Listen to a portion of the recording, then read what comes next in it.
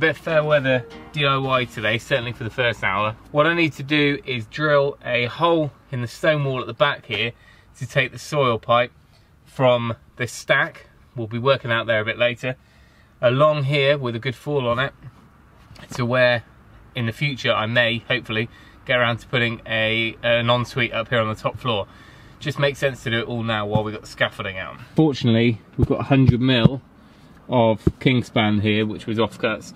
So we should be able to lift all this out and create a space here for our pipe to run along. You can see here, this is just a, a binder over the top of the joist. It's basically the lowest point I can go to to go through the wall.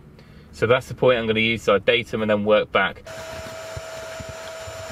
So what I'm thinking is to start us off with, if we're using the drill, riding this along the top of the timber, the timber is level, so that should take us through a good point. So we'll set the pilot up in this, do the initial drill, that'll give us a small pilot hole.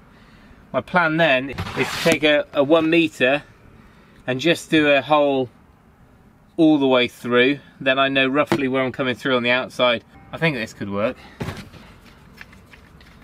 That should just about get us through the wall. That should be just fine. The poor old heroic Titan gave up um, a few weeks back. It's perfectly fine on drill mode, uh, but it's just got no hammer function anymore. But the nice thing is we don't actually need a hammer function for the core, so I can still use this to do the uh, fair share of the work.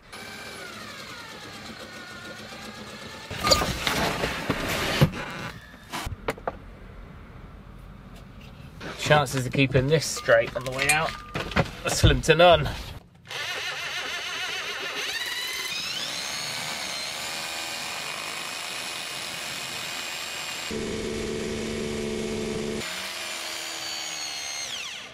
Let's go see where that came through. Hopefully not through somewhere where we don't want it.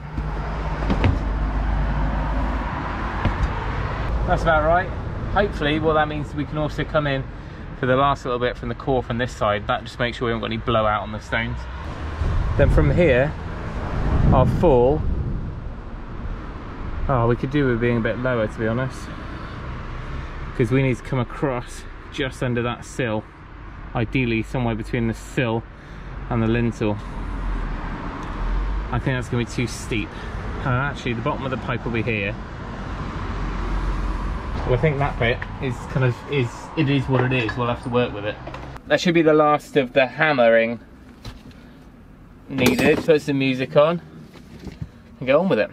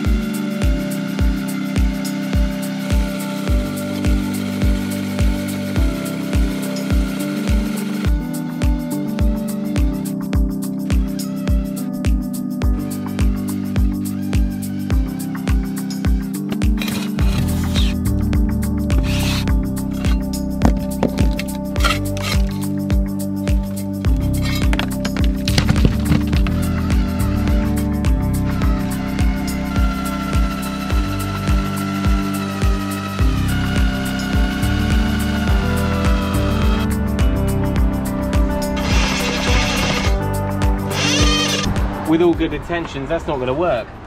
Our pilot hole came through right on the mortar gap, so it's actually just widening and not staying central.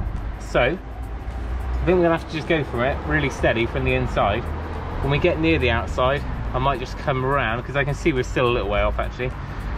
Um, and then I might just kind of come out and just chip out the last little bit. It's likely, because we've got an elbow coming out here, we're going to have to enlarge the hole for the first, I don't know, 40 mil or so to accept the socket size. So it's going to be a bit wider.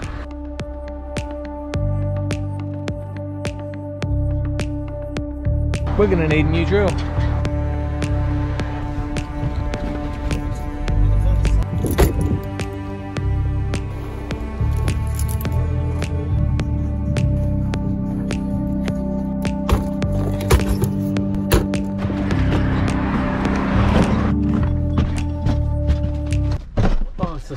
SDS graveyard in here.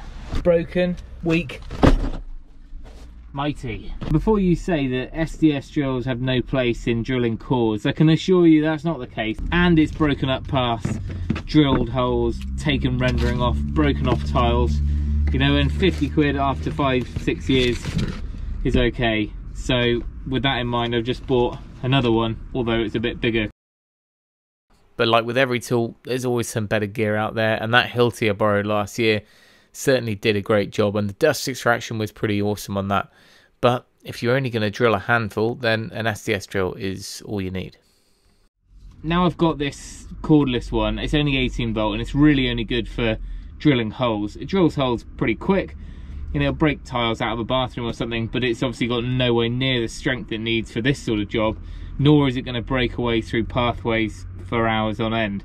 I've got the big breaker for that, so there was no point in getting another similar sized drill as a mains version. So this one's a bit bigger and it's probably more like the sort of thing that we want to use for bigger drilling or breaking off render just general demo work.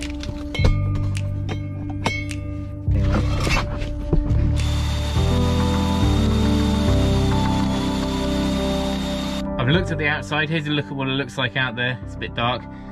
You can see that we're almost there but because like I said earlier because that pilot was coming through a mortar gap we can't drill the last bit from the outside coming in. Uh, nor could we have started from the outside right at the beginning. No way we would have ended up coming in exactly where we needed.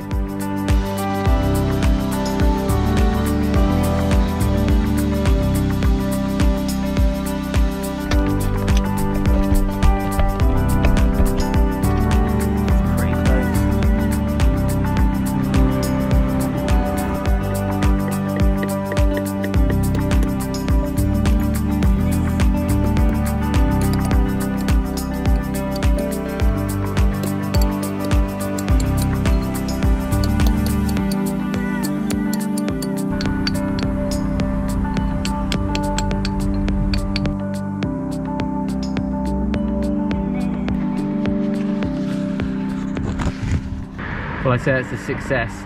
Pretty neat hole, no tear out or blowout at the back here.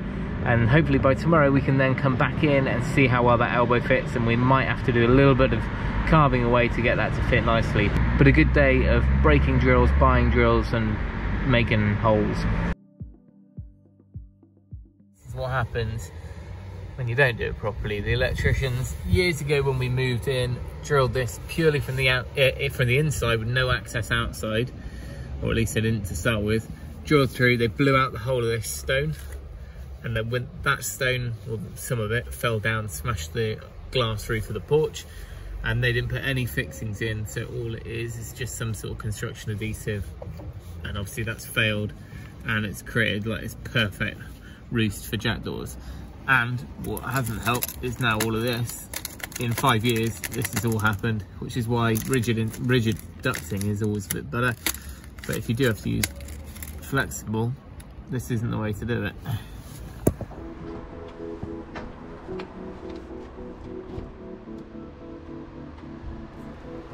I'm afraid I gave in. I've ended up using plastic here. Um, everything else on the roof I've managed to keep either original or a, a brand new version in metal. Now this little run that comes out, it's basically going to be plastic inside the building, which is fine where it comes out and comes across in a short run to this cast iron stack, I just couldn't bring myself to spend hundreds of pounds on new cast iron. And even if I was using the old style, I'd have a horizontal join there, so I'd have a whole bunch of um, joints and also brackets.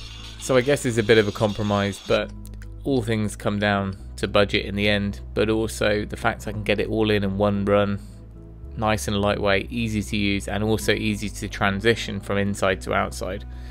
So, apart from you and me, by the time this is all painted, I don't think this decision will be keeping me up at night.